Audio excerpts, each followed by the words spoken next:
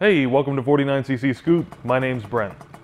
I've heard numerous times since owning the RC1 engine that Malossi's MHR exhaust that comes with it is not the greatest.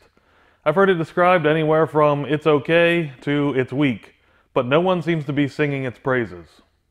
I've been pretty happy with it so far, but I had to wonder if a different exhaust would make the RC1 even stronger than it already is. So today, I'm going to try a new pipe.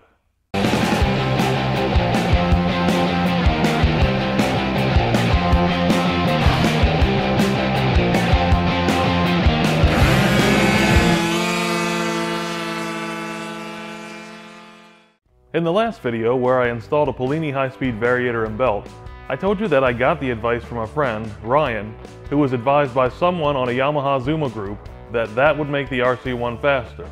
The same person also suggested a different exhaust. Ryan actually bought an Auto Puntalno pipe, sorry I'm probably butchering that name, uh, but directly from that person who claimed that it was a one-off custom exhaust made for a 94cc or maybe even specifically for the RC1. Ryan installed all of the parts at one time in his new Honda Metruk build, which you'll see riding with me in future videos. It's a long, low scooter set up to better handle power without being wheelie prone like the Zuma that he had the RC1 in. He definitely got quicker and faster, but it's hard to say what's doing what because all of the mods were installed at once and because he now has the ability to get into the throttle without putting the wheel in the air. Now his problem is traction, leaving 20 foot black streaks behind him and it's been over 90 miles per hour without him really trying to top it out. Ryan was kind enough to share some onboard video with us.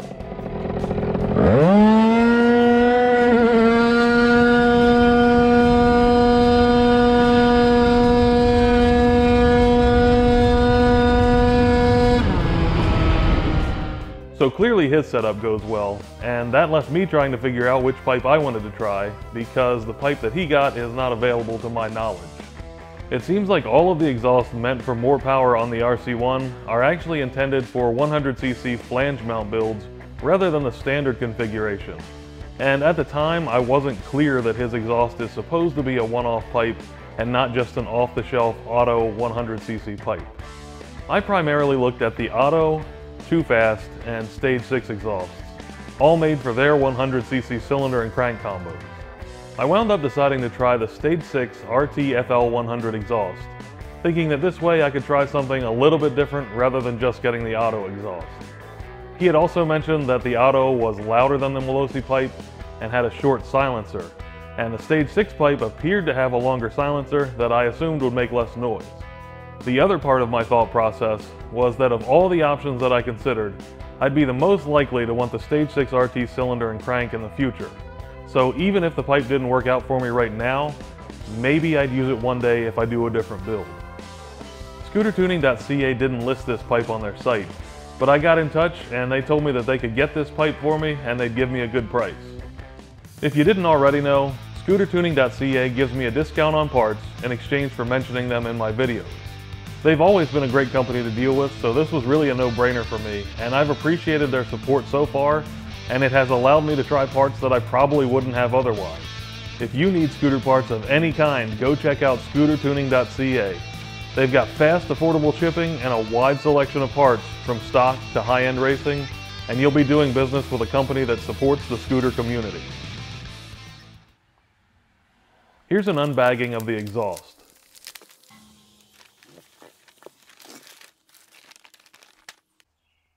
It comes with two of these decals. The main body of the exhaust, which we'll take a really good look at because in my opinion, brand new high-end pipes are a thing of beauty.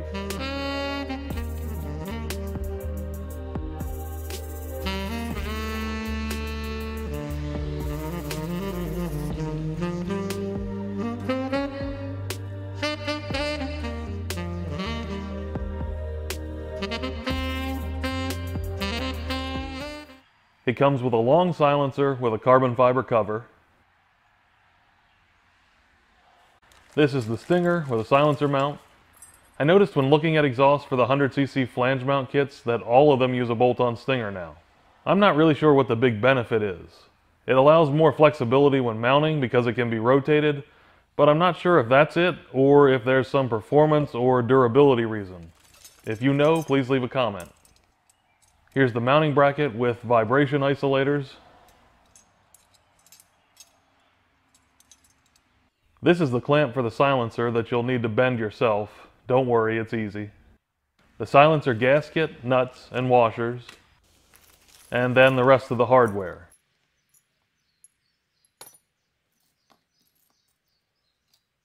I also had to order the flange kit for this pipe because the flange is usually included with the cylinder kit, which I don't have. That comes with an O-ring for the flange to the cylinder connection, mounting hardware, and the flange itself. Now it's time to get the pipe installed. The first step for me was to remove the Malossi exhaust and flange.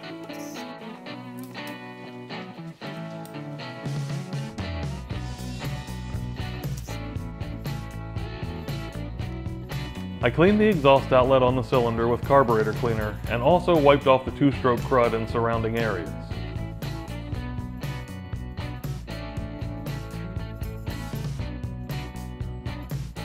The bolt pattern on the Stage 6 flange is different from the Malossi cylinder's outlet. Luckily, it can be rotated and used with just two bolts, and the alignment with the port is okay. It would be nice to use all four bolts, but most kits that aren't high-end only have two bolt flanges. The Stage 6 flange has a round entry to match its corresponding cylinder's round port exit, while the Malossi flange transitions from an oval port match shape to round where it meets the header. I would prefer to have the port match and the transition of the Malossi flange, but the Malossi flange is larger than the Stage 6 header. I considered getting another Malossi flange and seeing if I could machine it down and then use that so I'd have both port matching and the use of all four bolts, but when I saw that it would probably cost over $100 by the time the flange is shipped, I just gave up on that idea. Another thought was to get a chunk of steel rod, machine it to the appropriate outside diameter, and bore it as large as I could on the mini lathe before welding it to a flange cut from probably 8th inch or 3 16 steel and then hand porting it. With material cost and the amount of effort involved in something like that, it may just be worth buying the flange and cutting the OD down. I decided that if the pipe turned out to work well, then maybe it would be worth figuring out a better flange, but not before some testing. I started the flange bolts and left them just loose enough that I could still move the flange. Then I moved the flange around to align it as well as I could before tightening.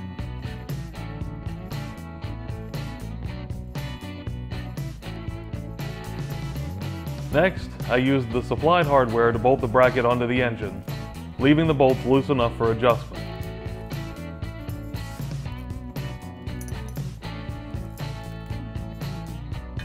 I pushed the pipe onto the header and it became immediately apparent that the bracket was not going to work. The tabs on the pipe are supposed to align with the isolators, but they are inches off. The Stage 6 RT100FL cylinder would put the exit at a different angle, so the exhaust probably bolts up with ease if you happen to have their cylinder, but it's not working so well with a Malossi job. It's so far off that drilling new holes in the bracket isn't even an option, so I decided to make my own. I traced the bracket's basic shape and used it to mark the engine mounting holes.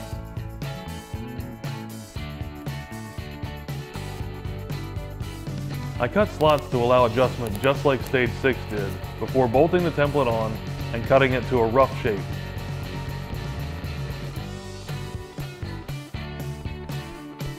Then I marked where the pipe aligns and cut out slots for those mounts as well. I bolted the template on and made sure everything seemed to align. It looked pretty good to me, so I transferred the design to a piece of 8th inch steel plate before cutting and drilling it.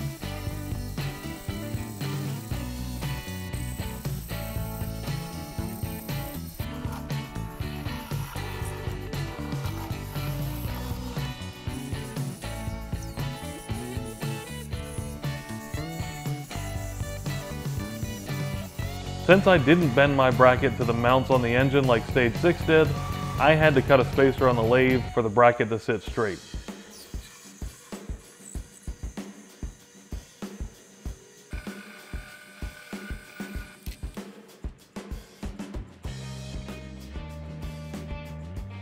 Finally, everything aligned well. Before I could bolt the pipe on, I still needed to install a bung for an exhaust gas temperature sensor. I took some measurements so I'd know how far into the pipe I'd need to go to place the sensor 150 millimeters from the piston skirt and then cut a piece of wire to that length. Then I could place the wire on the pipe to plan and mark exactly where I wanted to put the EGT.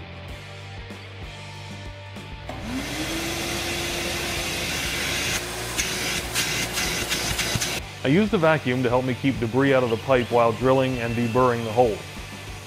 Two strokes will pull things back into the cylinder, so you really don't want anything left over in there.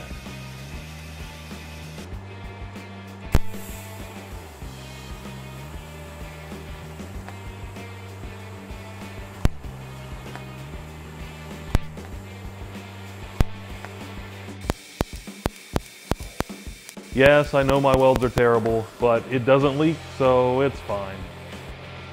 Then the sensor was installed. If you want in-depth info about installing EGT sensors, I've got a video that covers the entire process in detail and I'll link to that in the description. Once the sensor was installed, the pipe was bolted on.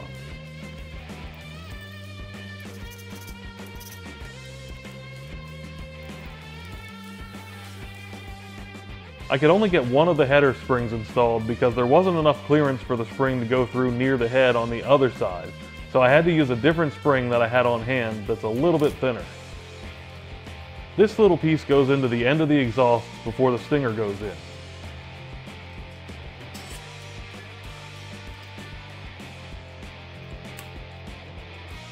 I left the clamp loose enough that the stinger could still rotate. I ended up having to take one mount bolt back out because it turns out that it needs to go through this silencer clamp bracket. The silencer was installed on the Stinger next.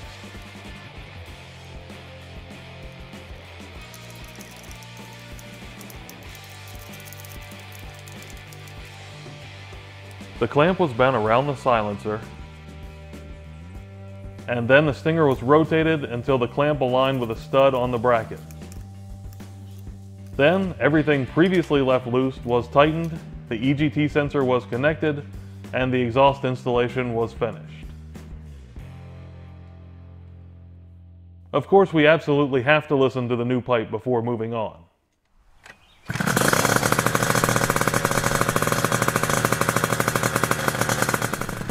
It's quieter than I expected, which isn't a bad thing in my opinion.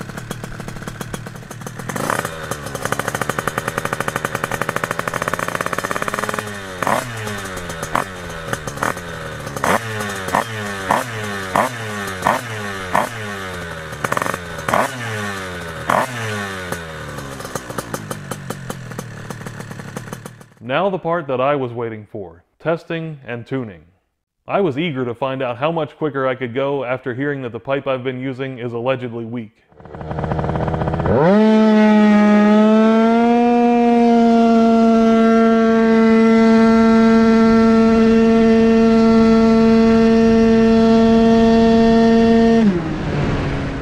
I started out with 5.25 gram weights in the variator, which has worked well with the Malossi exhaust, and worked my way down to 4.25 grams in quarter gram increments, and here are the results. It did the best with 4.5 gram weights, but all of the eighth mile results are close and the best and worst results are only 13 hundredths of a second apart. 0 to 60 shows a little bit wider spread, with 4.5 gram being a quarter second quicker than the nearest result and roughly 3 quarters of a second quicker than the worst result. The problem is, all of the results are slower than my best results with a Malossi pipe. Here's the best set of runs with a stage 6 exhaust versus the best set of runs with a Malossi exhaust. It's not way off, but it's two tenths worse on average in the eighth mile and a little worse across the board. I would say that what I felt matches the data pretty well. With a stage 6 exhaust, it didn't feel like much changed other than RPM when I was going up or down with different weights, and it didn't feel much different than the Malossi pipe. It looks like the Stage 6 pipe has a wider usable range. From past results with a Malossi, I see a much more obvious fall off in performance as the RPM moves away from the best results. The Stage 6 pipe is more willing to rev as well. I ran it up to near 15,000 RPM at one point, and it didn't really feel unhappy there. Overall, I'd say it's a good exhaust, even not being designed specifically for the 94cc MHR combo, and I really think that's the issue here. The Malossi MHR exhaust is designed specifically for the kit that I'm using, and the Stage 6 exhaust is not. I suspect that a version of the Stage 6 exhaust made for the Malossi kit would be an excellent pipe, but unfortunately I don't think that exists. I know there are a few different high-end pipes for 94cc Minarelli engines, but I'm not aware of others made for the RC1. Putting a 100cc exhaust on a 94cc may not seem like a big deal, but two-stroke pipes are incredibly sensitive to variables and everything needs to be dialed in for the strongest performance. Speaking of dialed in, I should mention that I never changed any carburetor settings. I watched and recorded exhaust gas temperature and it was right on par with data from my previous best runs. At this point, I was a day away from an upcoming car show and wanted to make sure the scoot was running strong. I did check and see that it could still power wheelie from a 25 mile per hour roll with a stage 6 pipe and briefly considered going with it just because near 15,000 RPM power wheelies seem more aggressive than near 14,000 RPM power wheelies. But ultimately, I decided to put the Malossi exhaust back on for the strongest performance. I did make one small change when I reinstalled the Malossi exhaust. The countersink mount bolts included from Malossi have small hex sockets and have never been able to withstand the recommended torque settings without stripping from me. I made up a couple of tapered inserts on the lathe that fit inside of the bracket and now I can use standard Allen cap screws or just plain old hex bolts if I want to. This doesn't self-center quite so much as the tapered bolts, but if the ID of the inserts is kept close to the bolt size, it seems to work just fine. I installed a new spark plug and set the CVT back to what works with a Malossi pipe, and after a couple of quick test runs, I was ready for the car show.